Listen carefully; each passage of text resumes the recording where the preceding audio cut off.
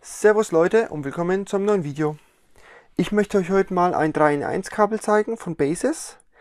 Das habe ich mir jetzt gekauft fürs ähm, Auto und äh, würde euch jetzt mal das ganze Thema auch zeigen. Und ähm, ja, einfach ein paar Infos dazu geben, weshalb ich mir das gekauft habe und äh, was positiv, aber was auch negativ an dem Kabel ist. Zuerst mal, es ist für iPhone, Micro-USB, aber auch USB-C geeignet zum Laden. Bei äh, Lightning kann man damit auch Daten übertragen, bei USB-C und äh, Micro-USB nicht. Das geht leider nicht, habe ich mehrmals probiert mit zwei, drei Geräten ähm, und dementsprechend ist es leider so nicht möglich.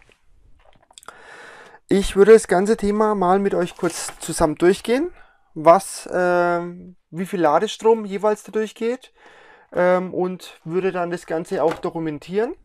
Und zwar anhand von so einem Stromprüfer, den ich habe, kann ich euch mal auch genau sagen oder zeigen, wie viel Ampere, wie viel Strom dann jeweils äh, bei dem jeweiligen Gerät auch benutzt und genutzt werden kann. Gut. Zuerst mal würde ich das ganze Thema mit einem ähm, iPad machen, weil da weiß man, okay, das müssen mindestens 2 Ampere sein. Wenn es weniger als 2 Ampere sind, ist natürlich wieder schlecht. Gut. Hier ist das gute Teil. Jetzt schließen wir das Ganze mal an kurz. Zack.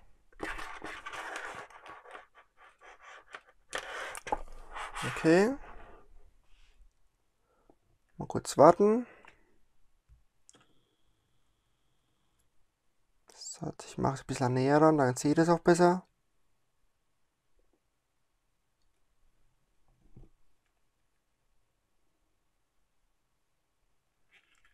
Na komm hin. Jetzt.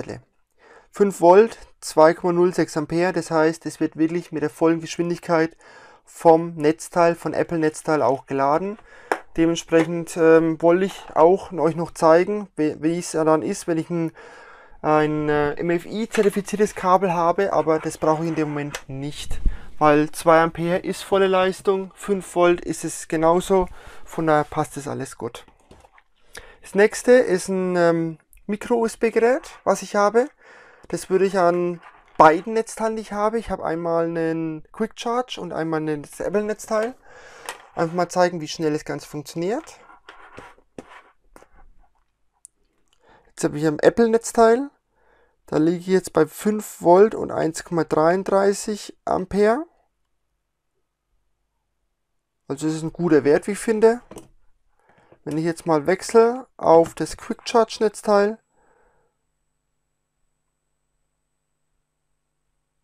ist es weniger. 5 Volt, 4,5, 4,9, 1,04. Also sind 0,3 Ampere ungefähr weniger. 0,2 bis 0,3 Ampere. Es schwankt ein bisschen genau. Aber es ist, wie gesagt, es ist weniger auf jeden Fall. Und dementsprechend auch soweit klar. Wobei das Netz, das Kabel ist schon recht gut, weil bei dem Handy ist teilweise so, dass ich nur 0,8, 0,9 Ampere über die Leitung bekomme. Gut.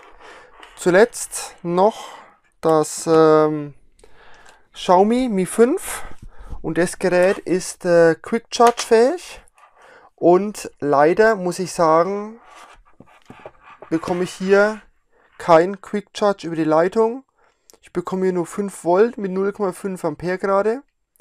0,5 Ampere aus dem Grund, weil es einfach voll ist. Aber dennoch muss es bei Quick Charge eigentlich so weit sein, dass es immer 6 Volt ist. Und das zeige ich euch auch ganz kurz mal. Da habe ich nämlich ein, ein Quick Charge fähiges Ladekabel habe ich nämlich auch noch hier. Wenn ich das jetzt einstecke, dauert ein paar Sekunden. Und jetzt hat 6 Volt, 0,5 Ampere. Und das ist genau das. Sieht man nämlich auf dem Bildschirm hier, dass das Zeichen ist für Quick Charge, dass es jetzt schneller geladen wird. Gut.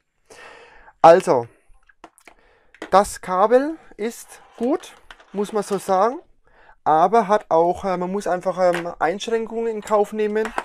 Sei es ähm, Thema Quick Charge, nicht Quick Charge fähig sei es äh, keine Synchronisation mit, ähm, mit dem PC bei Micro-USB und bei USB möglich. Bei Lightning geht's. Und ähm, ja, das sind wirklich zwei, zwei Punkte, die ein bisschen das Bild trüben. Aber letztendlich äh, ist es ein gutes Kabel. Ich kann es empfehlen.